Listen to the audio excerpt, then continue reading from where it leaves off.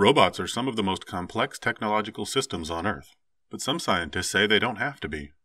A new automation model could do away with the complicated mathematical machinery that normally makes robots tick, and replace it with a more intuitive and ultimately simpler guiding system. Before a robot is even assembled, the rules for its behavior are laid out in explicit mathematical detail.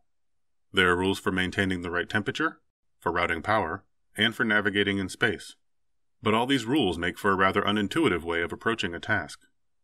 Take driving, for example. People monitor speed and distance, but mostly drive by feel for where the car is and where they want it to go. The key is viewing the control system as a whole, rather than considering the cause and effect relationship between the many parts. This principle forms the basis of a new model of automation. Whether they're tracking physical distance, voltage, or energy, under this new model, machines can continuously compare their actual and desired trajectories to reach a target state. Such an active control system can substitute for the more static, rule based design of many robots and could allow autonomous vehicles to operate under uncertain conditions, such as tracking an unknown target in the absence of GPS. To help implement this technique in practice, researchers called upon a brand of calculus known as fractional calculus. Unlike the classical version used in most control systems, Fractional calculus provides a way of accounting for the full history of a robot's behavior.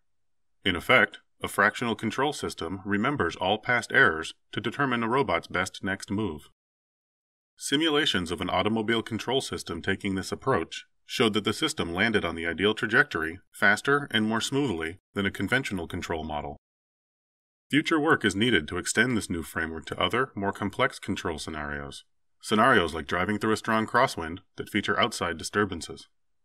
But the outlook appears promising for a technique that can simplify the increasingly complex world of automation.